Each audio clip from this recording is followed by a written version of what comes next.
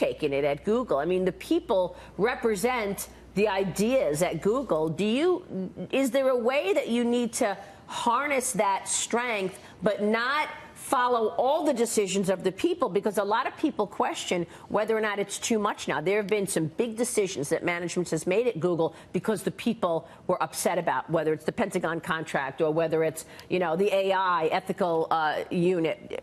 Is it too much? Well, well, in the Google context, one of our values is this kind of internal conversation.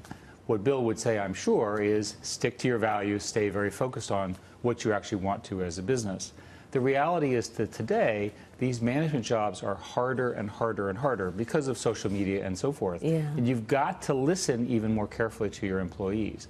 But at the end of the day, the old playbook, which is leadership, coaching, getting people who are often young and relatively inexperienced, huge potential to achieve their greatness, whatever it is, that is a universal human value. And our argument in the book is that these are applicable today and in the future. These are universal values of management and leadership. At some point, the leadership has to say, okay, I hear you, but what do I stand for? What do we stand for? And that's the values comment. And in the book, uh, you go through many of the lessons that Bill taught, in- including people building trust, creating a workplace based on love.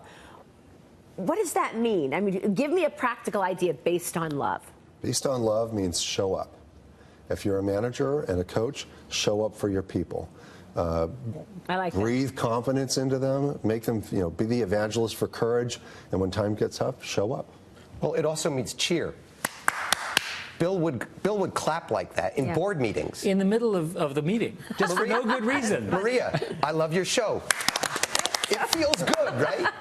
That's great. That is Everybody laughs. Everybody- express love in a meeting by audibly clapping and letting you know what a great job you've done. That is fantastic. And that creates momentum towards the decision. Yeah, and it gets everybody buying in. I mean, haven't you sat in meetings where everybody's kind of bored? Yeah. Like, okay, let's get going, Yeah. right? It's the same thing as winning in the game. It's funny how these little things Yeah. really make a big difference. Let me ask you about AI. Google is among the senior companies.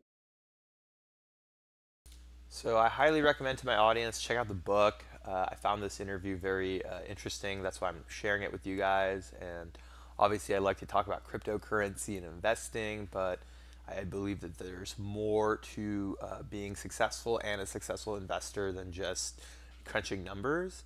And uh, if I do come across other content, I'll try to share it with you guys just to keep it interesting and uh, just mix things up. But uh, it looks like we are holding the level for uh, the 5,000 Bitcoin, which is nice, but we did have a little dip as you can take a look at this chart. Um, so I'll continue to also cover that in future uh, uh, videos. But let me know what you guys think, and I will talk to you soon.